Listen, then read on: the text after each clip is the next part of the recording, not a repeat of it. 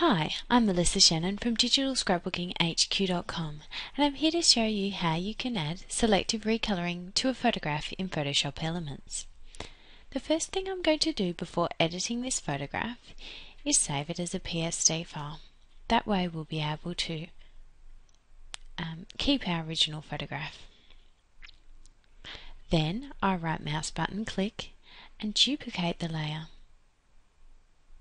I'm going to convert this photograph to black and white and then add the red for the car and the flowers in colour as that's what the bride and groom have requested. So the first thing I'm going to do is I'm going to use RadLab to create a cool black and white effect. I think I'll go for the Vario black and white and click finish. And then using the mask that's built in, I'm going to paint away the areas that I don't want included. So I'm going to get my brush and set it to a hard round brush.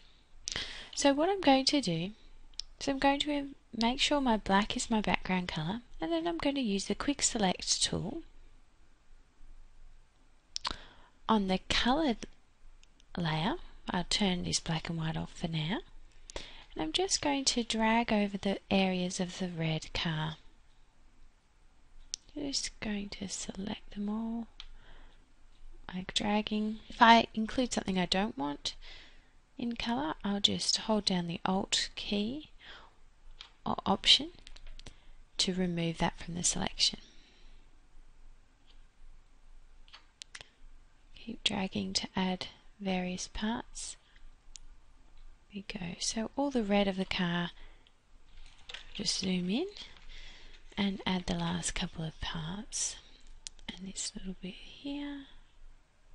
Here we have it. Now I'm going to go back on and turn on my black and white layer. And I'm going to click on the mask here. I'm just going to press delete. That has um, created black in my mask so that my car can come through. Now I'm going to use my paintbrush. I'll make it black there and I'm just going to use my paintbrush to paint in the last few parts that have missed out on the colouring. And I use white to paint out parts that shouldn't have been coloured. Let's have a look. The red's looking pretty good. Now we'll do the same for the for the flowers. I'm just going to use my quick select tool on the coloured layer, selecting the flowers and the leaves and the stems there.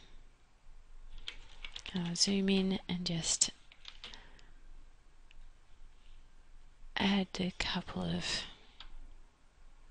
straggly bits. Now we'll go back, we'll turn on our black and white layer, we'll click on the mask, making sure black is our background colour, we press delete, and the flowers are now in colour. So press Control D or Command D to uh, select. I'm going to use my paintbrush again to just paint away any less colour there. That's all looking pretty good. There we have it, a beautiful photograph, black and white, and some selective recolouring. Visit digitalscrapbookinghq.com for more tips, tutorials and free online workshops.